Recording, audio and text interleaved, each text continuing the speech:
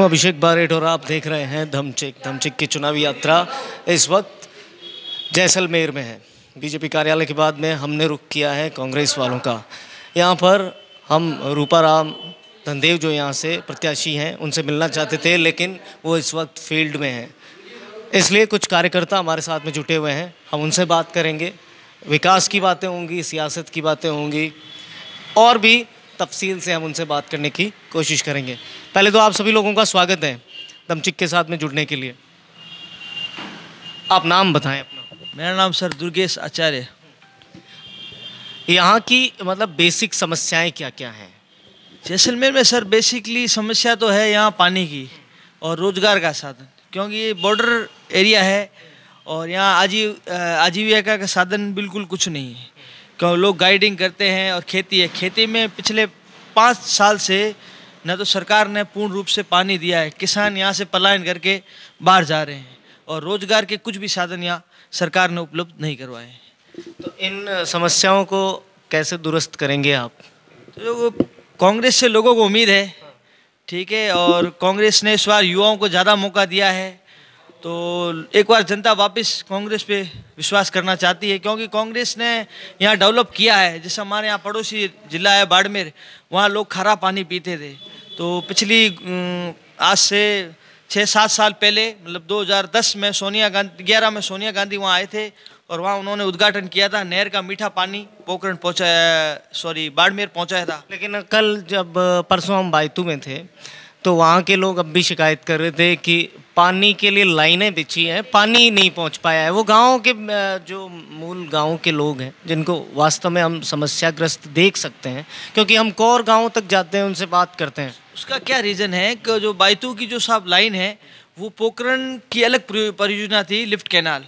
तो पिछली सरकार में साले मोहम्मद जी वहाँ विधायक थे उन्होंने पोखरण से लेके बालोतरा तक का काम लगभग पाइप कंप्लीट हो गया। पिछली सरकार ने उस काम को रोक दिया है। इस वजह से वो काम आगे हो नहीं पाया तो वहाँ पानी मेरे हिसाब से इसलिए वजह इसका डिले होने का यही कारण है। सांग सिंह भाटी भी ताल ठोक रहे हैं आपके खिलाफ। सांग सिंह भाटी ताल ठोक रहे हैं प्रत्याशी है भाजपा के। वो अपनी दौड़ कर रहे हैं हम अपनी दौड़ कर रहे हैं। लेकिन सांग सिंह ने पिछले उससे भी पाँच साल पहले यहाँ काम किया था लेकिन लोगों ने उन पर पूर्ण विश्वास करके जनता के वो विश्वास खरा नहीं उतर पाए। उसका ये रीज़न यही है कि इस बार लोग कांग्रेस की तरफ़ लोगों का झुकाव है। एक एक कड़वा सवाल है कि आ, मतलब आपका जो जैसलमेर है उसमें सिर्फ़ दो विधानसभा क्षेत्र आते हैं ठीक है पोखरण में उसमें आता है। तो यहाँ पर कई बार यहाँ पर क्या है कि इल्ज़ाम लगे आपकी सरकार पर। पंकज चौधरी जो एक आईपीएस थे उनको 48 घंटे में उनका ट्रांसफ़र किया गया। और यहाँ की सियासत गर्म हो गई थी। जिन साले मोहम्मद की बात आप कर रहे हैं, गाजी फ़कीर की बात जो कर रहे हैं, हिस्ट्री शीट खुली थी ये 2011 की ये बातचीत है। तो एसपी ने ये आरोप लगाए थे उस समय कि मुझे काम नहीं करने दिया गया। तो यहाँ की सत्ता में तो कांग्रेस थी, कांग्रेस पर ये आरोप थे। और अशोक गहलोत ने बाद में सफ़ाई भी पेश की थी। देखो साहब, ये क्या है? ऑपोजिशन के लोग इन बातों को उछालते हैं। कुछ भी ऐसा उनके खिलाफ नहीं पाया गया है। इसका कारण ये है कि पंकज चौधरी का जो मुद्दा था वो वो खा, खास बात ये है कि हम वो मुद्दा समझना चाहते हैं और वो भी जैसलमेर की जनता से आप लोगों से। ओपोजिशन ने इसको हवा बनाया था उनको कमज़ोर करने के लिए। लेकिन देखो उनका यहाँ जन आधार है। उनके वो अपने समाज के धर्मगुरु है। तो उनके यहाँ वोट बैंक है। तो उनको पार्टियाँ पूछेगी नो डाउट रही बात पंकज चौधरी जी की तो आज पंकज चौधरी की वाइफ जो झालावाड़ में कांग्रेस की समर्पित है उनकी पार्ट उन्होंने कांग्रेस पार्टी को समर्थन किया है। तो इस दोनों चीज़ों से साफ़ ज़ाहिर होता है कि ये बेबुनियाद आरोप ये ये ये ये जानना बड़ा रोचक है कि इन्होंने एक अच्छी बात इसमें जोड़ दी है कि पंकज चौधरी की वाइफ जो है मुकुल पंकज चौधरी उन्होंने कांग्रेस का दामन थाम लिया है। बड़े भाई कहने लग गई हैं मानवेंद्र सिंह को। यहाँ पर युवाओं के लिए कौन कौन सी समस्याएँ देखते हैं? जैसलमेर में कौन कौन कौन सी समस्याएँ आप देखते हैं, आप नाम बताएँ। जी, मेरा नाम वीरेंद्र युवाओं के लिए बहुत सारी तकलीफ़ें जैसे स्कूल में टीच, टीचर नहीं है और टीचर आते तो स्कूल भी खाली है। जैसे टीचरों की यहाँ पर बहुत सारी दिक्कत है। लेकिन जैसलमेर से लगभग एक महीने पहले दो टीचरों का झालावार भी ट्रांसफ़र किया गया। इसलिए हमने कई बार प्रदर्शन हुए लेकिन हमारी सरकार ने कुछ नहीं किया। दो टीचर्स से क्या मतलब उथल पुथल हो जाती है? देखो साहब पिछली गहलोत सरकार 2008 से लेकर उन्होंने 2011 तक यहाँ हर गाँव में स्कूलें बनवाई थी स्कूलों को जोड़ा था। लेकिन इस सरकार ने स्कूलों को एक ऐसा तोड़ कर दिया कि आज की तारीख में वो स्कूल एक धर्मशाला बन गई है। तो गाँव में वहाँ लोगों की शादी बारातें वहाँ रुकती है बाकी स्कूलों को वहाँ से उन्होंने हटा दिया है। तो काफ़ी गंभीर समस्या है, क्योंकि पिछली गहलोत साहब की जो योजनाएँ थी, उसमें हर गाँव ठाणी में स्कूल था। अब इन्होंने तोड़ मरोड़ के एक जगह 50-50 किलोमीटर दूरी पे करी है तो लोगों को वहाँ जाने की दिक्कत है, बच्चों को जाने की दिक्कत है, बच्चों के परिजन को वहाँ जाने की दिक्कत है, जो काफ़ी गहरी समस्या है शिक्षा के लिए। दूसरा, रोज़गार के लिए है तो रोज़गार में यहाँ के छात्र हैं, वो बाहर जाते हैं पढ़ने के लिए। तो मेरा मानना ये है कि जब तक छोटे शहरों को विकास नहीं किया जाएगा वहाँ रोज़गार के, वहाँ इंडस्ट्रीज़ अगर नहीं लगेगी तो विकास जब तक पूर्ण रूप से विकसित नहीं हो पाएगा। क्योंकि आज जयपुर है बड़े बड़े महानगर हैं, वहाँ इंडस्ट्रीज़ वगैरह लग रही है तो वो तो पहले से ही डेवलप है। मेरा मानना ये है कि जो सीमावर्ती क्षेत्र है, जैसलमेर है, बाड़मेर है, जालोर है, यहाँ कुछ उद्योग लगे, कुछ व्यापार के कुछ ऐसे सिस्टम लगे, जिससे लेकिन पर्यटन भी तो यहाँ का एक बड़ा व्यवसाय है। पर्यटन में यहाँ के युवा संलग्न हो सकते हैं। तो पर्यटन को लेकर कितना ध्यान दिया जाता है सरकार साहब पर्यटन का यहाँ है लेकिन पर्यटन का यहाँ लोग आते हैं और थोड़ा सपोर्ट मिलता है क्योंकि वो इकोनॉमिक कंडीशन थोड़ी बढ़ जाती है। जैसलमेर में गुजराती भी आते हैं फॉरनर्स भी आते हैं। लेकिन इसकी प्रमुख समस्या भी ये है क्योंकि यहाँ बेरोजगार लोग हैं वो गाइडिंग से अपना गुजारा चलते हैं। तो उनका मुद्दा था काफ़ी पाँच साल के अंदर लेकिन लोगों को उन्होंने जो युवा उनको उन्होंने लाइसेंस जारी नहीं किया। तो वो आज आज के युवा वो भी आज इसका मुद्दा बना के बैठे कि उनको किसी प्रकार से लाइसेंस जारी करे ताकि उनकी आजीविका चल सके। चार सौ पाँच सौ हज़ार रुपये वो पर डे कमा सके लेकिन सरकार उनके बीच भी रोड़ा बनी हुई है। बीजेपी सरकार? अच्छा दूसरी विधानसभा की भी बात कर लेते हैं क्योंकि ये जिला मुख्यालय है यहाँ, है ना? तो यहाँ पर ये है कि बीजेपी ने भी ट्रंप कार्ड खेला है है ना? एक फकीर है तो दूसरा संत है, संत को उतारा गया है प्रतापपुरी को उतारा गया है। तो ऐसा लगता है कि आम जनता जो है, वो हिंदू, मुसलमान, जाति, इन आधारों में उलझ के रह जाती है, चाहे पार्टी कोई भी हो। देखो साहब, भारतीय जनता पार्टी ने हमेशा दो काम किए हैं। उनके पास राष्ट्रवाद और हिंदुत्व, ये दो ही है। राष्ट्रवाद का तो तड़का है और हिंदुत्व की चाशनी है। हर जगह, हर इलेक्शन में लगाते जाते हैं और खींचते जाते हैं। मैं आपको सिंपल सा उदाहरण दे देता हूँ। पिछली गवर्नमेंट, यानी बीजेपी सरकार ने सालिम मोहम्मद जी को कांग्रेस से प्रत्याशी बनाया। और वहाँ शैतान सिंह जी राठौड़ है, जिन्हें अभी इस बार टिकट नहीं दिया बीजेपी ने। तो वहाँ योगी आदित्यनाथ मोदी जी ने बड़ी बड़ी रैलियाँ की बड़े बड़े जुमले वादे किए। ऐसा तो हम ऐसे कह सकते हैं कि कल कल राहुल गांधी भी यहाँ पहुँच रहे हैं। तो साहब उन्होंने भाषण दिए लेकिन उसका साहब रिज़ल्ट क्या निकला? पिछले पाँच सालों में ज़ीरो। वहाँ एक भी रोज़गार के साधन नहीं। लोगों को पानी से त्रस्त है आज भी वहाँ। पिछली गहलोत सरकार के समय जो हैंडपम्प पानी में लगवाए पानी के लिए लगवाए गए थे वहाँ उनका मेंटेनेंस तक का खर्चा इन्होंने नहीं दिया। पानी की पूरी दिक्कत है वहाँ की। गंदगी के ढेर पड़े हैं। रामदेवरा जो एक पवित्र स्थान है और वहाँ पिछले पाँच सालों में जो सोलर वोलर के जो हब है, वहाँ इन्होंने पूरी तानाशाही की है। बदमाशी अपराध बढ़ा है पोखरण के अंदर। तो सर जनता वहाँ की खफा है इस बार को यहाँ यहाँ पर भी पंचक्कियाँ लगी हुई हैं बहुत बड़े पैमाने पर। तो आपको विद्युत के लिए किसानों के लिए मैं एक सवाल आपसे पूछ लेता हूँ। किसानों को इससे कुछ मतलब इस समस्या से निदान मिल पाता है बिजली पानी की जो समस्या है देखिए किसान आज भयंकर त्रस्त है। जिसका मूल कारण है जो इंदिरा गांधी नहर परियोजना है उसको इस बीजेपी सरकार ने फेल कर दिया है। पाँच साल के अंदर पानी की पूरी रड़ रही। एक भी ऐसा किसान नहीं है जिसकी कमर तोड़ दी किसानों की और भाव जो किस समय थे वो स्थिर कर दिए। और गहलोत सरकार में अनाज के भंडार भरे हुए थे लोगों के। आज खाने को अन्न नहीं है, एक दाना भी। और पानी नहीं है। शिक्षा में स्कूलों का समानीकरण करके बच्चों का भविष्य चौपट कर दिया है। पाँच पाँच, सात सात किलोमीटर भटक के बच्चे आते हैं, जिसके साथ कई अपराध होते हैं। कई अपराध बहुत ग्रस्त है, कई गुंडागर्दी बढ़ी है। और पर्यटन को भी इसमें धक्का लगा है नहीं कि बढ़ावा मिला है इस सरकार से।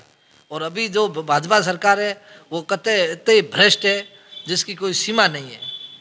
और वो और रोज़गार रोज़गार के लिए कोई साधन नहीं है उल्टे रोज़गार से वो छीने हैं दिया नहीं है। किसानों के स्तर पर।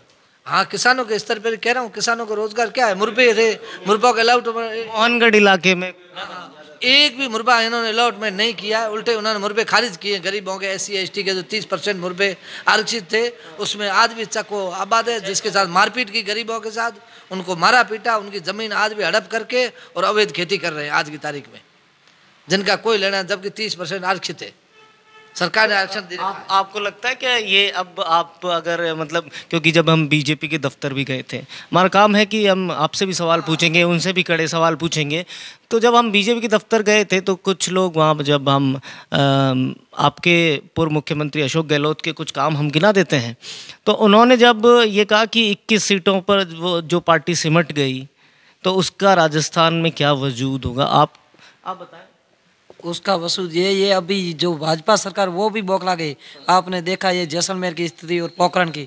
यहाँ दो जो विधायक अभी जीते हुए, उन दोनों को भी वो अपने स्तर पर नहीं उतार सकी। तो इससे स्पष्ट हो गया कि वो सरकार अभी पाँच साल में कोई काम नहीं किया है। इसलिए एक को तो संत को उतार दिया, एक को पुराने जो दस साल पहले विधायक था, उनको अभी वापस लाया परंतु जनता इनको सात तारीख को मत दे के पूरा जवाब देगी।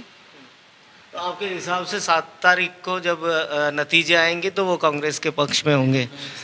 हाँ जो आप पर बीजेपी बहुत सारे आरोप मट देती है। तो आप, इस समय जो बीजेपी का जब हम पाली थे तो पाली में भी हमने कुछ ऐसे सवाल किए कि यहाँ पर छः सीटें जो हैं तो उन पर वो लगातार मतलब बीजेपी के शासन वाली सीटें हैं तो कांग्रेस के पास में कभी कभी जवाब नहीं दे पाने की स्थिति में होते हैं। तो इस बार जवाब देने की स्थिति बन पाएगी? बिल्कुल साहब जवाब देने की है हमने ज़िम्मेदारी ली है। जो हमारे प्रत्याशी है रूपा राम जी वो एक उच्च अधिकारी पोस्ट पे थे वाट हाँ, अभी सोशल इंजीनियरिंग वालों को मतलब इंजीनियरिंग जो स्तर पर है। मेरे वो वाटर वर्क्स जो ये पानी का जो डिपार्टमेंट है सिंचाई विभाग हो या किसी प्रकार की उन्होंने खूब सारी योजना चलाई थी गहलोत सरकार के टाइम उन्होंने अपने अधिकारी पोस्ट पे रहते हुए इतने लोगों को सुविधाएँ दी तो लोग आज भी उन्हें याद करते हैं, अधिकारी रहते हुए। एक अधिकारी रहते हुए उन्होंने लोगों का अगर दिल जीता है तो वो जननायक, प्रतिनिधि बनने के बाद में वो लोगों का कितना काम करेंगे, ये एक सोचने की बात है। जब पिछला चुनाव उन्होंने लड़ा था कांग्रेस ने उन्होंने टिकट दिया था, बिल्कुल अल्प मात्र से वो मतलब दो सौ, सवा ढाई सौ ढाई हज़ार वोटों से वो मतलब पराजित हुए थे। तो एक सोचने की चीज़ है। अच्छा, तो आपके हिसाब से इस बार एक इंजीनियर आएगा और वो सोशल इंजीनियरिंग में कमाल कर देगा? बिल्कुल साहब जो आज की तारीख में टेक्निकल पॉलिटिशियन चाहिए जो टेक्निकल तरीके से काम करे और जो लोगों को पानी की सुविधाएँ उपलब्ध कराए मूलभूत सुविधाएँ उपलब्ध कराए लोग यही चाहती है और जनता क्या चाहती है? आपके प्रत्याशी के ऊपर जैसे अगर बीजेपी हमला बोलती है तो दलित समाज से वो आते हैं। तो वो कहते हैं कि अल्पसंख्यकों और दलितों को चेहरा बनाकर हमेशा कांग्रेस आ जाती है। ये उस कांग्रेस का एक तरीका रहा है, ताकि वो अपनी राजनीति को, जो विशेष वर्ग हैं, उनसे मतलब हासिल कर सके। साहब दलित वर्ग वाली जो बात कह रहे हो तो साहब ये भी देखो ना, उनके पीछे जन आधार कितना है। ब्राह्मण भी है, राजपूत भी है, महेश्वरी भी है, ऐसी कास्ट उनके सपोर्ट करती है, तब उनका नाम आगे, पार्टी सोच समझ के टिकट देती है। बिना सोचे समझे कोई भी संगठन किसी भी प्रत्याशी को टिकट नहीं देते हैं। इसका मैडम कारण है। जब आ, सरकार होती है तो वहाँ लोगों की समस्याएँ रहती है उन समस्याओं का निचोड़ निकालने के लिए उनके समाधान करने के लिए प्रतिनिधि तैयार करती है। तो कुछ आधार होते हैं तभी संगठन टिकट देता है। और जात रही बात वोट बैंक की तो एस सी का परंपरागत वोट है कांग्रेस का। माइनॉरिटी है अदर हाँ, जाते हैं मैं, मैं आपको रोकता हूँ इस बात के लिए। जब हम प्रतापपुरी के बारे में उनसे बात कर रहे थे तो उनके एक जो कार्यकर्ता थे उनसे गलती हो गई। उन्होंने कहा कि नहीं हम भगवान समर्थक हैं हिंदुत्व आएगा। किसी भी पार्टी के साथ में अगर हिंदुत्व या कोई आ, मतलब निजी हित जुड़ जाते हैं आपने कहा कि उनका एक वोट बैंक है। तो आपके हिसाब से जातिगत आधार सही है किसी भी पार्टी में? नहीं सर ऐसा नहीं। जातिगत आधार ऐसा है साहब जातिगत आधार कहाँ हुआ? नहीं जैसे बीजेपी वालों ने कहा हमसे एक कार्यकर्ता उनके हमसे कह रहे थे कुछ देर पहले जब हम उनके साथ थे तो वो कह रहे थे कि हिंदुत्व आएगा। प्रतापपुरी के माध्यम से हिंदुत्व जो है वो वापस आएगा है ना भगवाकरण होगा। तो भगवाकरण हिंदुत्व है तो इसमें कुछ वर्ग पिछड़ जाएँगे। अगर आप दलितों की बात करेंगे पिछड़ों की और अल्पसंख्यकों की बात करेंगे तो इसमें भी आपका एक चेहरा बन जाएगा। तो दोनों पार्टियाँ कब इससे ऊपर उठवा रीजन ये बताओ। शेख साहब अब जहाँ कांग्रेस में माइनॉरिटी का कैंडिडेट है तो वहाँ तो ये हिंदुत्व की बात करेंगे चाहे योगी आदित्यनाथ आ जाए या कोई भी नेता आके करेगा। वहीं बीजेपी के जहाँ माइनॉरिटी के कैंडिडेट जैसे यूनिस खान जी को टोंक से टिकट दे दिया वहीं ये हिंदुत्व वाले जाके वहाँ बात करेंगे कि भाई वहाँ तो उनके लिए ये बात आप बड़ी दिलचस्प है। मुस्लिम समुदाय वहाँ उनके लिए बढ़िया है वहाँ कोई हिंदुत्व का कार्ड नहीं। और जहाँ जहाँ बीजेपी ने किसी हिंदू राष्ट्रवादी या जो भी मानो आप उस व्यक्ति को टिकट दी वहाँ अगर कोई कांग्रेस का माइनॉरिटी का है तो वो उनके लिए बुरा है। देखो साहब ये दोहरी दोहरी राजनीति है। लोगों को बेवकूफ़ बनाने का काम किया इन्होंने बाकी इनके पास कोई आधार नहीं है। अंत में एक सवाल पूछ लेते हैं कि इस बार आप प्रतिनिधित्व करेंगे समग्र राजस्थान का? बिल्कुल साहब करेंगे। कांग्रेस की सरकार बनेगी और लोगों का विकास होगा। मूल और ये दावा सच्चा होना बिल्कुल साहब हमारे जैसलमेर में अगर हमारे प्रत्याशी रूपाराम जी जीते हैं तो हर प्रकार की समस्या का निवारण होगा चाहे नहर में पानी का हो रोज़गार का हो। सरकार बन जाती है तो साहब हम अपने क्षेत्र की बात करेंगे ठीक है तो हम जिस व्यक्ति को विधानसभा में भेज रहे हैं तो उनसे हमें उम्मीद रहती है कि हमारे क्षेत्र में कुछ अच्छा काम हो अच्छा विकास हो यही उनसे हमारी उम्मीद है। और पूरे अगर हम समग्र राजस्थान की बात पूछ लें तो भी वही वही। जवाब रहने वाला है। बिल्कुल साहब। सरकार जो बनेगी हर प्रयास रहेगा कांग्रेस सरकार का कि लोगों को इस बार रोज़गार दें। दावे मतलब जो भी मतलब बिल्कुल बिल्कुल हमारा है कि आ, हमारा सभी पार्टियों के दावे इस बार- हैं। इस बार हमारा मैनिफेस्टो जो बनाया है वो जनता ने बनाया है। जनताओं के हर क्षेत्र में जो काम जो रोज़गार है और जो पानी की समस्या है वही लोगों की मूलभूत समस्या है। तो उस पर सरकार पूरा फोकस करेगी। तो आप लोगों ने अच्छे से हमारे सारे सवालों के बेबाकी से उत्तर दिए हैं। पहले तो उसके लिए शुक्रिया।